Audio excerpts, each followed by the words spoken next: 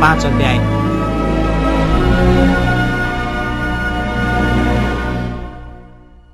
यसु नै ख्रिस्ट हुनुहुन्छ भने विश्वास गर्ने हरेक परमेश्वरको बालक हो जसले बाबुलाई प्रेम गर्छ उसले तिनको छोरालाई पनि प्रेम गर्छ।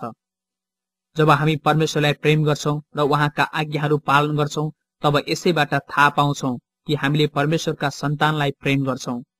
परमेश्वरको प्रेम यही हो कि हामी उहाँका आज्ञाहरू पालन गर्दछौं। र उहाँका आज्ञाहरू भारपूर्ण छैनन् किनकि परमेश्वरबाट जन्मिएको हरेकले संसारमाथि विजय प्राप्त गर्छ र संसारलाई जित्ने विजय हाम्रो विश्वास हो। संसारमाथि विजय प्राप्त गर्ने को हो? त्यही हो जसले यसु ख्रिस्ट परमेश्वरका पुत्र हुनुहुन्छ भनी विश्वास गर्छ। उहाँ उही उनै हुनुहुन्छ जो पानी र रगतद्वारा आउनुभयो अर्थात् यसु ख्रिस्ट जो पानीद्वारा मात्र होइन तर पानी र रगतद्वारा आउनुभयो। गवाई दिने त पवित्र आत्मा नै हुनुहुन्छ। किनकि पवित्र आत्मा सत्य हुनुहुन्छ किनभने गवाई दिनेहरू तीन छन् अर्थात् पवित्र आत्मा पानी र रगत र सबै कुरामा यी सहमत हुन्छन्।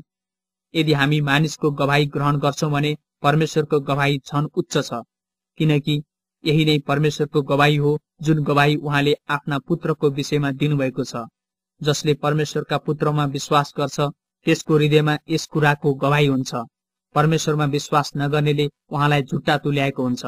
किनकि परमेश्वरले आफ्ना पुत्रको विषयमा दिनुभएको गवाईमा त्यसले विश्वास गरेको हुँदैन। गवाई चाहिँ यही हो कि परमेश्वरले हामीलाई अनन्त जीवन दिनुभयो र यो जीवन उहाँका पुत्रमा छ। जससँग पुत्र हुनुहुन्छ त्यससँग जीवन छ। जससँग परमेश्वरका पुत्र हुनुहुन्न त्यससँग जीवन हुँदैन। तिमीहरूले अनन्त जीवन पाएका छौ भन्ने कुरा जान भन्ने हेतुले परमेश्वरका पुत्रको नाउँमा विश्वास गर्ने तिमीहरूलाई यो पत्र लेख्दैछु। परमेश्वरमा हाम्रो पूर्ण भरोसा छ कि उहाँको इच्छा बमोजिम जे मागे तापनि उहाँले हाम्रो कुरा सुन्नुहुन्छ। हामीले प्रार्थनामा जेसुकै मागे तापनि परमेश्वरले सुन्नुहुन्छ भनी हामी जान्दछौ भने यो पनि जान्दछौ कि उहाँलाई हामीले जे मागेका छौं त्यो हामीलाई प्राप्त भएको छ। यदि कसैले आफ्नो भाइले पाप गरेको देख्छ अनि त्यो पाप चाहिँ मृत्युमा पुर्याउने होइन भने उसले त्यस भाइको निम्ति परमेश्वरसँग प्रार्थना गरिदिनुपर्छ। र जसको पाप मृत्युमा पुर्याउने किसिमको छैन त्यसलाई परमेश्वरले जीवन दिनुहुन्छ। तर यस्तो पाप पनि हुन्छ जो मृत्युमा पुर्याउने हुन्छ जसको निम्ति कसैले बिन्ती गरिदिनुपर्छ भनी म भन्दिन। सबै अधर्म पाप हो तर यस्तो पाप पनि हुन्छ जो मृत्युजनक हुँदैन। परमेश्वरबाट उत्पन्न भएको कसैले पनि पाप गरिरहँदैन तर परमेश्वरका पुत्रले त्यसलाई सुरक्षित राख्नुहुन्छ र दुष्टले त्यसलाई छुँदैन। हामी जान्दछौ हामी परमेश्वरका हौ र सारा संसार त्यस दुष्टको अधीनमा परेको छ। हामी जान्दछौ कि परमेश्वरका पुत्र आउनु भएको छ जो सत्य हुनुहुन्छ। उहाँलाई चिन्न सकौं भनेर उहाँले हामीलाई समझ दिनुभएको छ।